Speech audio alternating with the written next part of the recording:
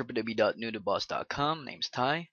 Uh, I'm here for another tutorial again. This uh, this time it's just going to be plain and simple and how you can change um, the color scheme of waveforms and uh, panels on Adobe Audition 3.0.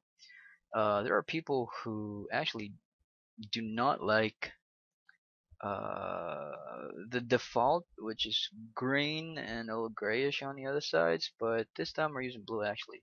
So how do you do change your um, waveform theme and your Adobe Audition 3.0 theme? You just have to go for some, I mean, go and look up for uh, here, file, sorry, file, edit, view, effects, generate, right on top, uh, toolbars right in there. So you look up for something that says edit, and scroll right straight down, something that says preferences, alright, and it's actually in there. So you have general, system, colors, display data here, here, right, and something that says colors, right? So you got presets here. I'm using Midnight Blues, and this is the default right? Let's try that. Let's try recording something. Hello, hello, sound check, test, test recording. See that? Um, it's it's kind of plain. Green is okay, but somehow people would want to change that. So if you do want to change that, go back to preferences. Then here we got a lot. Uh, let me, sorry, let me, uh, let me, hello sound. Uh, let me just give you a sample waveform so you can see that things are changing really at the background. Here, we got that. Adobe Gray. We got this changing there. And oh, sorry, I have to click on this like that. And again, preferences.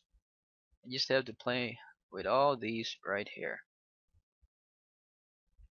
And this is, I mean, this one looks like a gaming tool a gaming theme. And we got blues right here. And this is what I'm using earlier. Uh, midnight blues. But if you are not satisfied with the presets that you have, I mean Adobe Audition already got, you can um, one by one change all the elements right here.